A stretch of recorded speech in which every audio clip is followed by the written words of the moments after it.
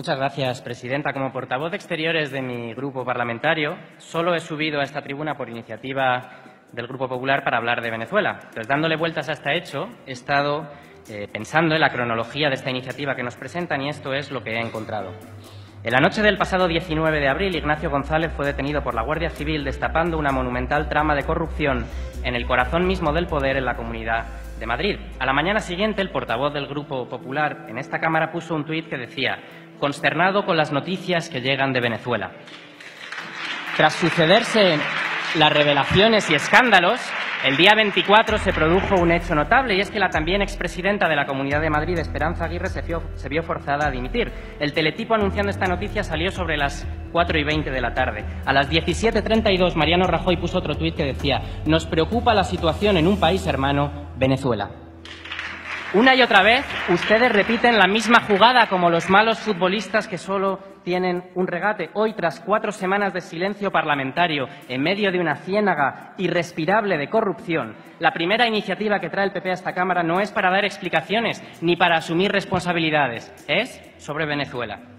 Traen además un texto redactado en el mes de marzo, desactualizado, que hace referencia a hechos que han cambiado, a decisiones que se han modificado, que no incluye, por supuesto, una sola propuesta viable para ayudar a solucionar la difícil situación que vive Venezuela. Y entonces lo que hacen es que improvisan una enmienda a última hora para ponerlo al día, hacer el trabajo que no han hecho antes de escribir una nueva, que entonces no casa con la exposición de motivos, pero les da igual porque en la máquina de humo ustedes sacan unos hechos, meten otros y las, las conclusiones siempre son las mismas. Esto sería algo grotesco y sería una profunda falta de respeto a esta Cámara, pero es que es además una profunda irresponsabilidad. Es una irresponsabilidad porque la situación en Venezuela es delicadísima, con preocupantes episodios de, violencia urbana, con varias crisis institucionales enquistadas, con una fractura instalada en el corazón de la sociedad que amenaza con volverse una situación ingobernable. Nosotros llevamos meses pidiendo al Gobierno de España que se ofrezca para favorecer los procesos de mediación internacional y de diálogo. ¿Y qué han hecho ustedes? ¿Qué han hecho ustedes?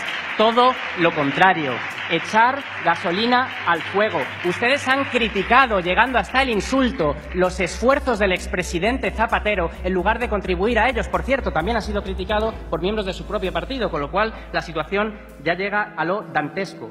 Ustedes no han contribuido en nada y siguen sin querer hacerlo a buscar una solución política, dialogada, democrática a la situación en Venezuela. Ustedes lo que han querido hacer es utilizar la gravísima situación que vive ese país para deslegitimar a su oposición política. Lo han hecho amparando baterías de denuncias falsas que han sido archivadas de la primera a la última porque no contienen un solo gramo de verdad. Lo han hecho utilizando la policía política del antiguo ministro del Interior para perseguir a sus adversarios políticos, fabricando informes falsos sin que nadie haya asumido responsabilidades por ello.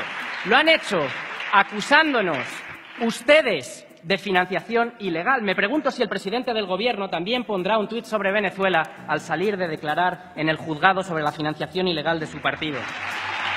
Su descrédito es tal que ustedes ya no convencen a nadie y de hecho lo saben y lo único que quieren ya es hacer ruido y desviar la atención desesperadamente, pero el problema que tienen es de tal magnitud que ni siquiera eso les va a salir bien. Por lo que se ha publicado en estos días, hemos sabido que el hermano de Ignacio González utilizó la empresa pública Mercasa, participada por la Administración del Estado, la SEP y el Ministerio de Agricultura, para intentar sobornar a funcionarios venezolanos, obtener ilegalmente contratos públicos inflados y repartirse el dinero.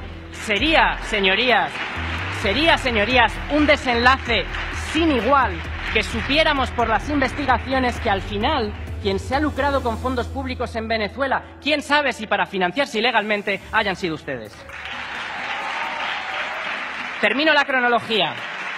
El día 23 de abril, en mitad de este escándalo, el presidente Rajoy se fue de visita oficial a Brasil fue a visitar a un presidente ilegítimo, que dio un golpe para derrocar a la presidenta Rousseff, votada por millones de brasileños. Un presidente que está internacionalmente aislado, investigado por múltiples casos de corrupción vinculados al escándalo de Petrobras, que está reprimiendo violentamente las protestas de su pueblo mientras intenta cambiar la Constitución para retrasar las elecciones a 2020 y permanecer cuatro años en el poder sin pasar por las urnas.